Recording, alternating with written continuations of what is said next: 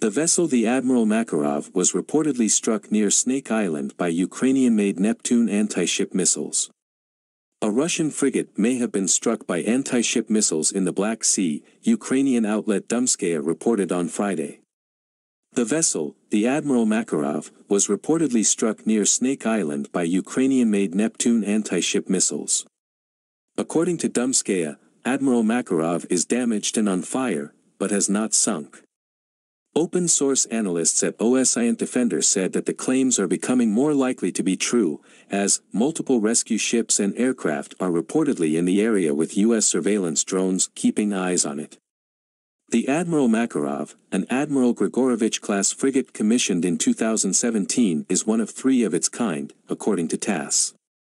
The ship is reportedly designed to counter other surface ships and submarines and repel air attacks.